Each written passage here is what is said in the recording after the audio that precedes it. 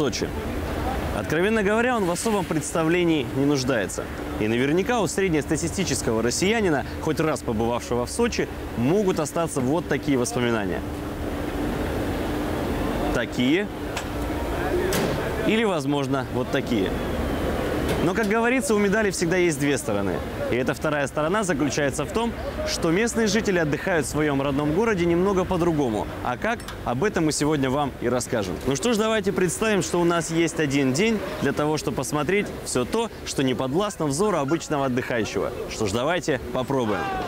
Железнодорожный вокзал в Сочи – это не только отправная точка, но и своеобразная гордость курортного города. В 1952 году архитектурная композиция была завершена. С тех пор вокзал стал визитной карточкой города и самым часто встречающимся образом южной столицы, который можно было встретить на старых советских открытках. На выходе из вокзала первым делом приезжего атакуют плотные кордоны таксистов, которые всегда отвозили по олимпийским ценам, даже до прихода в город самой Олимпиады. Цены кусаются, поэтому первый полезный совет. Попробуйте пройти от этих назойливых граждан. Немного поодаль. Возможно, там стоят слегка отчаявшиеся таксисты, которые могут, я подчеркиваю, могут отвезти вас подешевле. С другой стороны, если речь идет не о поездке по городу, а об отъезде в аэропорт, то в самое ближайшее время будет запущена Аэроэкспресс «Ласточка» в аэропорт Адлера стоимость билета которого будет составлять около 300 рублей и, возможно, окончательно разрешит вопрос того, как добраться до воздушных ворот города. Не успев пройти и 100 метров, мы натыкаемся на еще одну интересную достопримечательность. Там для меня горит очаг. Именно в этом самом месте так бы спел Игорь Корнелюк. Все потому, что за моей спиной находятся женщины, очаровательные женщины, которые могут помочь вам снять жилье на короткий срок и абсолютно для разных целей.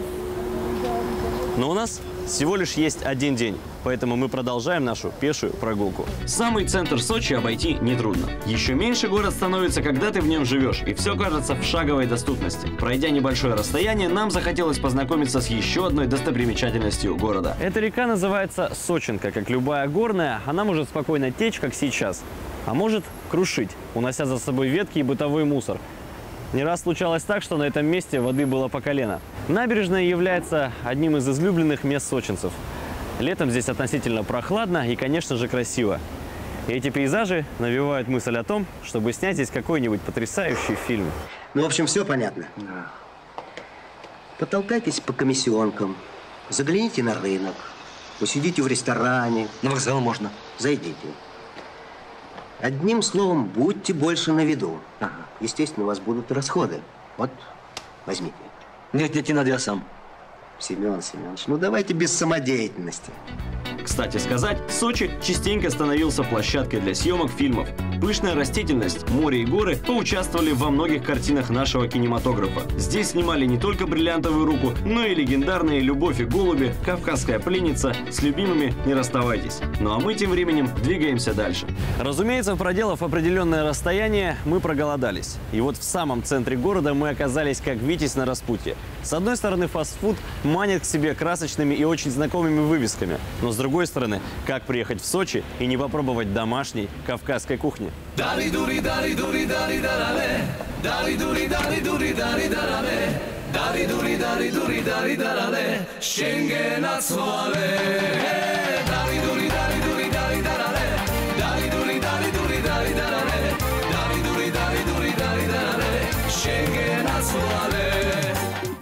Ценник далеко не самый высокий. Здесь в среднем на человека выйдет около 800 рублей. Пусть и не очень мало, но в таких случаях местные скажут, что мы теперь олимпийская столица.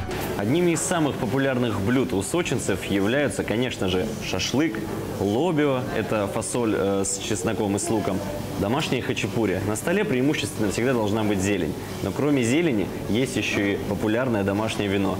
Но не то, которое могут предложить вышеупомянутые таксисты. Кроме того, домашнее вино – вещь очень коварная. Поэтому, как и в любом алкоголе, здесь нужно меру знать особенно.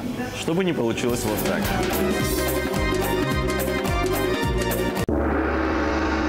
А сейчас ваше здоровье. Прекрасно. Ну, с вашего позволения я начну. Начнем с хачапури. Можно не, не волноваться. Все проверено. Подряжающе. Это еще только хачапури. Не могу не доесть. Просто прекрасно. Вот так все. Просто, не хитро, но очень вкусно. Переходим, как говорится, к водным процедурам. Переходим к мясу. Сегодня у нас на столе люля-кебаб.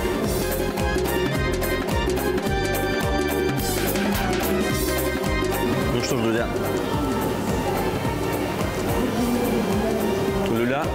не хуже, чем хачапури. Особенно, когда он в лаваше. Приезжайте в Сочи. Сочи – это город парков, где многие часто любят проводить время. Некоторые из этих парков имеют свою небольшую историю. Мало кто знает, что этот парк называется Поцелуевским. И все дело не в том, что здесь целуются больше, чем где-то в другом месте.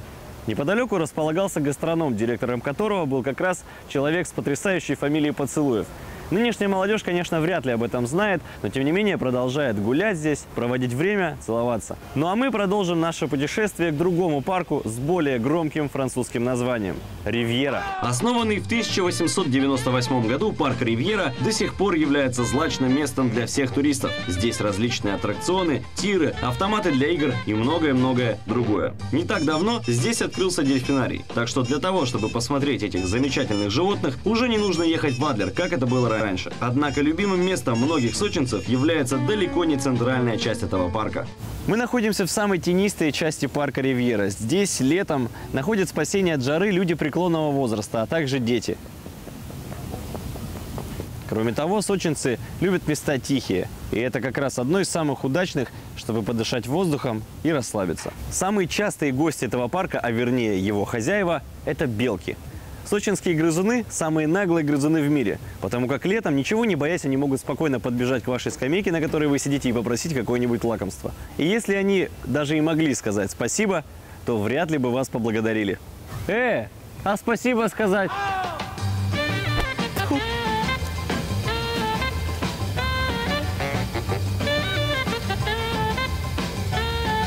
Пожалуй, во многих городах есть места мистические, которые связаны с определенной драматической историей. Разумеется, без этого не обошлось и в Сочи. Если до этого мы рассказывали вам о тех местах, где любят бывать местные жители, то сейчас речь пойдет о том, которые предпочитают обходить стороной. Заброшенный ресторан на горе Ахун – Заведение, которое проработало не очень долго после своего открытия. Ресторан на горе Ахун был построен в 1937 году. Несколько лет ресторан не работал и начал постепенно разрушаться. Фасад пестрел трещинами, паркетные полы были завалены мусором, а стекла выбиты. В кулинарном цехе потолок был поражен грибком, крыша текла. Курортная газета номер 227 от 29 сентября 1940 года попыталась бить тревогу. Ресторан находится в системе курорт-торга, который не заботится о сохранении здания. В 1900 1938 году ресторан осматривало 20 комиссий, в 1939 – 11, в текущем году 5, причем две из них приезжали из Москвы, но ничего не изменилось. Здание, стоившее полтора миллиона рублей, по вине нерадивых хозяев находится на грани полного разрушения. К слову сказать, ресторан находится на высоте 666 метров,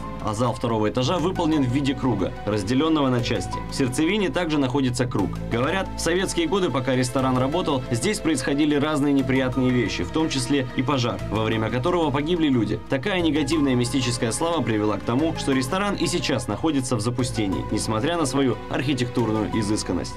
В советские годы этот ресторан был одним из самых любимых у главных партийных функционеров страны. Так, Климент Ворошилов, один из первых маршалов Советского Союза, часто любил здесь обедать. Теперь здесь не встретишь никого, кроме людей без определенного места жительства, а также любителей страйкбола. Не стоит забывать, что Сочи – это в первую очередь Черное море. Если городские пляжи всегда переполнены приезжими, то у местных жителей есть свои излюбленные места для купания. Вот одно из них. Пляж называется «Красный штурм».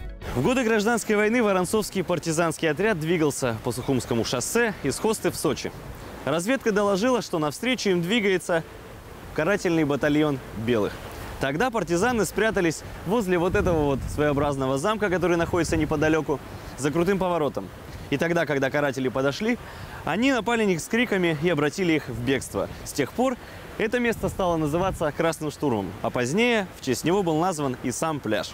Ну вот и закончилась наша кратковременная, но очень насыщенная экскурсия по замечательному городу Сочи. Мы побывали в местах, где можно снять квартиру и попытаться подешевле проехать по городу. Мы распробовали блюда замечательной кавказской кухни, посидели у речки, вспомнив кадры из фильма «Бриллиантовая рука», который снимался в Сочи. Также мы познакомились не только с самыми наглыми, но и очень добрыми белками. Посетили один из любимых пляжей местных жителей. Но и кроме этого, в заброшенном ресторане «Ахун» окунулись в немного мистическую обстановку.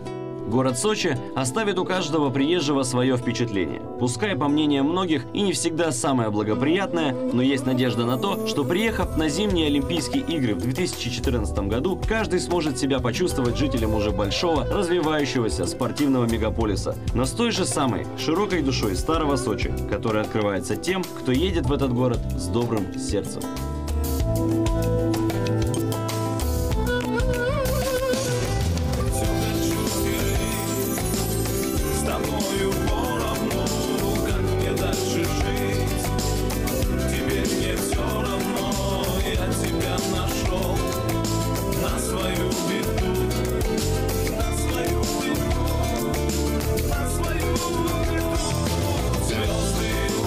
Работали Александр Харченко, Анна Торопова и Роман Сафронов. Специально для ТВ РУДН.